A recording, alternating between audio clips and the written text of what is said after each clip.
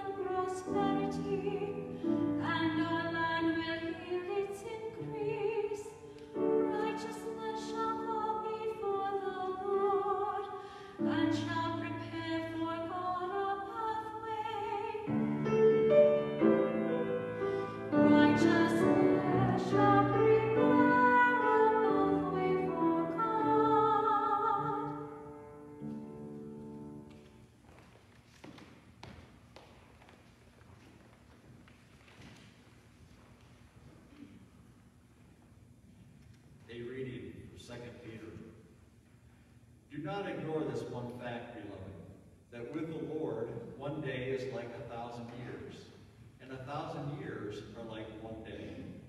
The Lord is not slow about his promise, as some think of slowness, but is patient with you, not wanting any to perish, but all to come to repentance.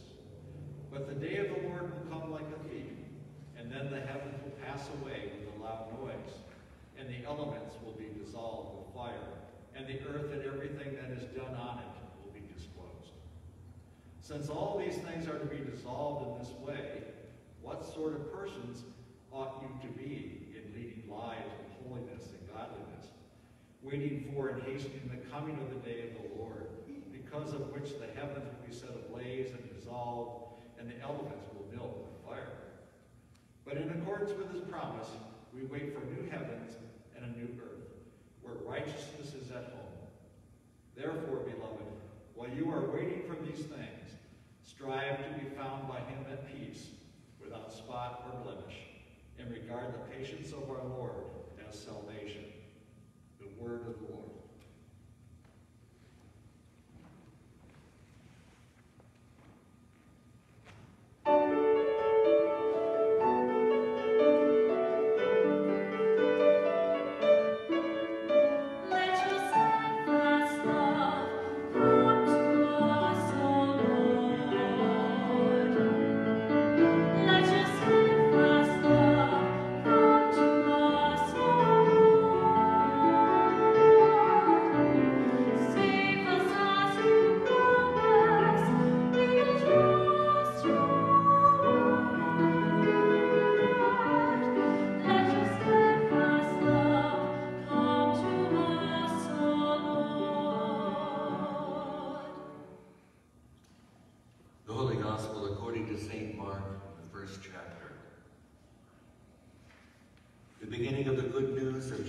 Christ, the Son of God.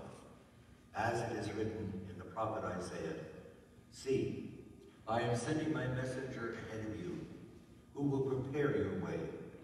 The voice of one crying out in the wilderness, Prepare the way of the Lord, make his paths straight. John the Baptizer appeared in the wilderness, proclaiming a baptism for repentance for the forgiveness of sins. And people went from the whole of Judea countryside all over, and the people of Jerusalem were going out to him, and were baptized by him in the river Jordan, confessing their sins. Now John was clothed with camel's hair with a leather belt around his waist, and he ate locusts and wild honey. He proclaimed, the one who is more powerful than I is coming after me. I am not worthy to stoop down and untie the thong of his sandals. I have baptized you with water, but he will baptize you with the Holy Spirit. The Gospel of the Lord.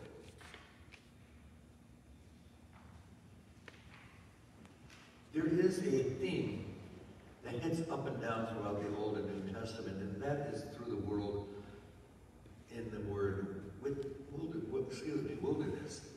And wilderness always define that place where you don't want to be. Wilderness does not support life. Wilderness supports death. It's arid. It offers no food.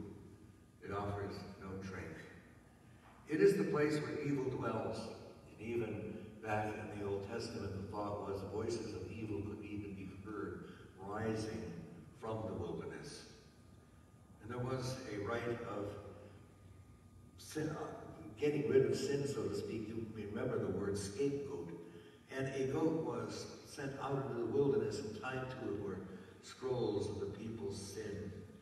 And it was sent out for the, goat, the donkey to die out in the wilderness. And with its death would be the death of the sins of the people that would be literally absorbed in the evil of the wilderness. And so when Isaiah says, coming through the wilderness, it seems not correct. How could the word of God come out of the wilderness, that which is defined by death and evil? And yet Isaiah says it, and it seems so unexpected. And recall after Jesus' baptism how he is driven into the wilderness, and there tempted three times tempted by the evil that dwells within the wilderness. Three times he quotes the word of God.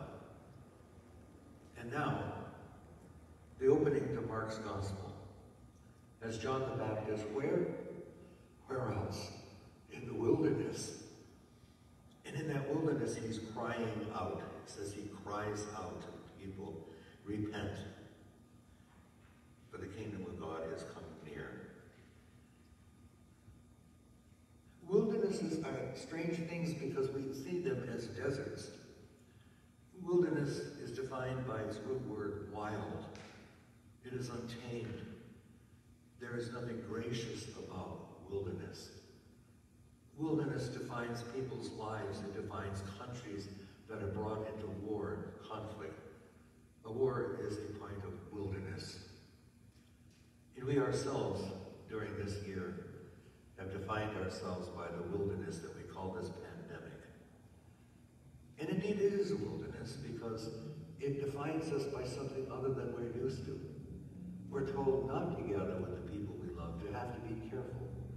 And we're forced into a wilderness that is unseen to us and it's not comfortable. There's something terrible about the whole thing. And underneath it all, there are different voices that tell us how to avoid the virus, what we need to do. We have hope in the coming of a vaccine.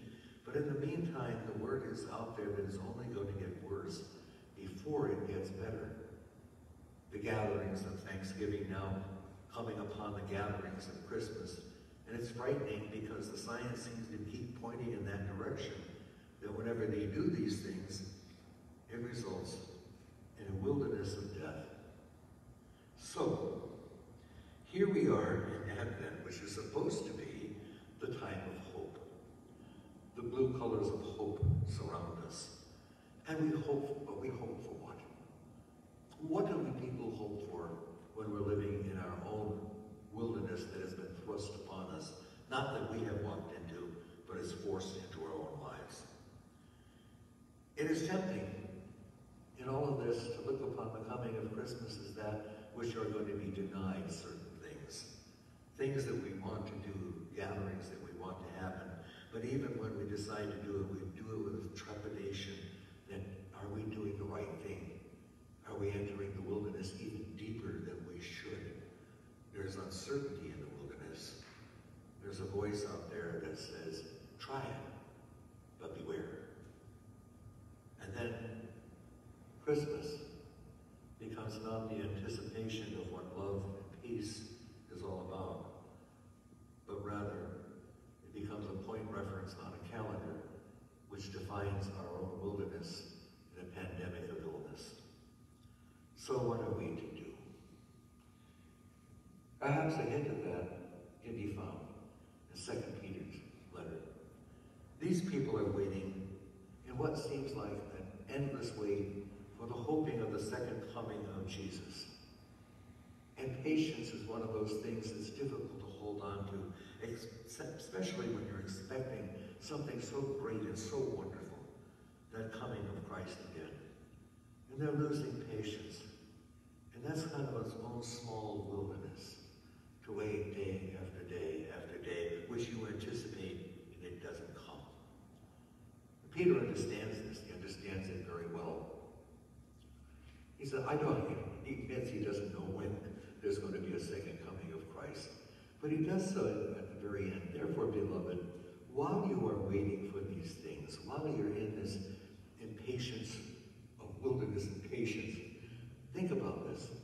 Strive to be found by him at peace, without spot or blemish, and regard the patience of our Lord as your salvation. It is very difficult to do these things without a type of meditative life that says, I know the wilderness that I'm living in, which means I must set aside some time to reflect patiently what is going to happen on Christmas Day. And that throughout all of the centuries, Christmas has come and gone, and it's even on its very day, there have been people at war with each other on Christmas Day. Christmas Day didn't stop some of the evil things that happened in the world, but it was there, and it happened every year. And it comes even when we're not prepared, whether we're prepared or not. And on that special day, the stories will be told over and over again, ones that we're so familiar with.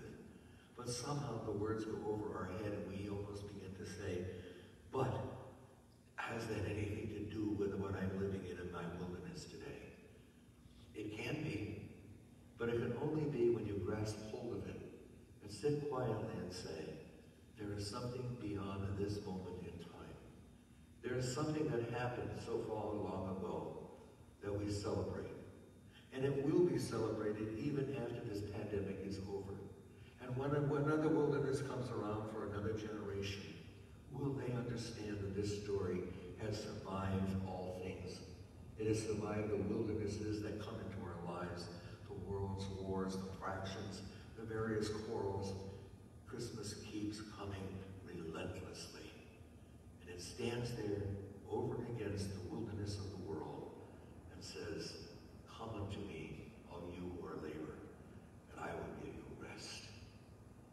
So, Old Testament, the reading from the second lesson, St. Peter, and also God, Mark's Gospel this morning, it's almost as if they understand what we're going through right now, as if anything in the past is applicable to our present condition and what we're going through. And it says to us over and over, there has been a generation that has survived their wilderness. And you will too. Come, hear the story once again. Approach the coming day of Christmas and know that it defines you beyond any wilderness that is out there that is thrust into your own lives. That goodness will survive. That holiness is reality. And that there is out there an entity far beyond what we understand that loves us in a world that is filled with wildness. And it is good to call upon his name, to sing in a few days, Gloria in excelsis Deo. In the middle, in the middle of the wilderness of our lives, our God still comes to be with his people. Amen.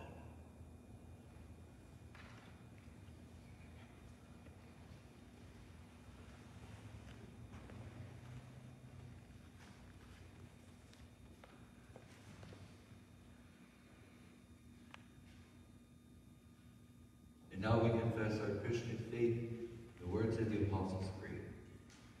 I believe in God, the Father Almighty, creator of heaven and earth. And I believe in Jesus Christ, God's only Son, our Lord, who was conceived by the Holy Spirit, born of the Virgin Mary, suffered under Pontius Pilate, was crucified, died, and was buried. He descended to the dead. On the third day he rose again and ascended into heaven, and he is seated at the right hand of the Father. He will come again to judge the living and the dead. And I believe in the Holy Spirit, the Holy Catholic Church, the communion of saints, the forgiveness of sins, the resurrection of the body, and the life everlasting. Amen. And let us pray. God of power and might, comfort your people. Come quickly to this weary world. Hear our prayers for everyone in need.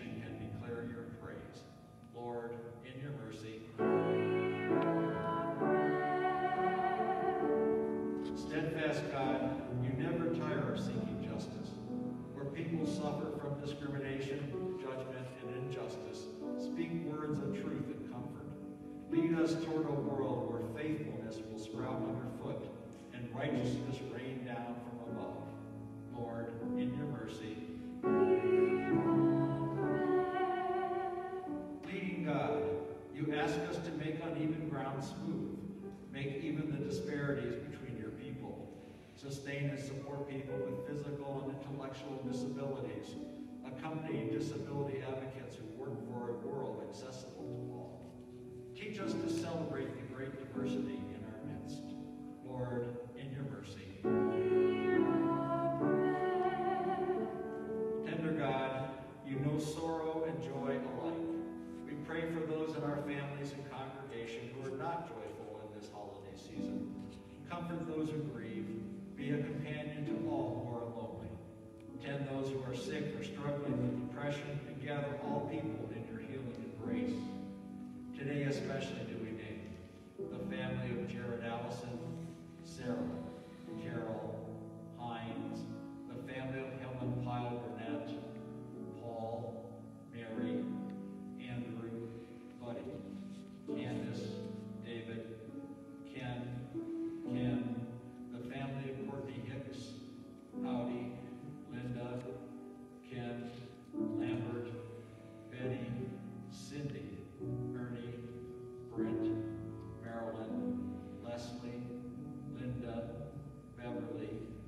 Susan, Pastor Donna, Pastor Ken, Sandy, Kay, Allison, Brian, Jean. We pray for those we now name before you either out loud or in the silence of our hearts. Lord, in your mercy, eternal God, we give thanks for the saints who have